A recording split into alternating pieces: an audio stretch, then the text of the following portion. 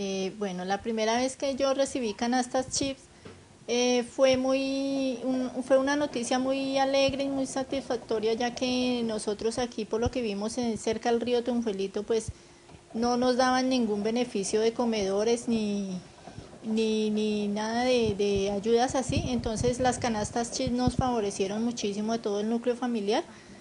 Eh, fue muy rico ver la cantidad de, de alimentos que vienen, ya que viene arroz, viene verdura, viene fruta, viene aceite, eh, vienen eh, frijoles, lentejas, pasta.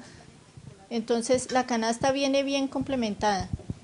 Entonces pues fue una, una dicha muy grande poder, poder de entrar a este beneficio.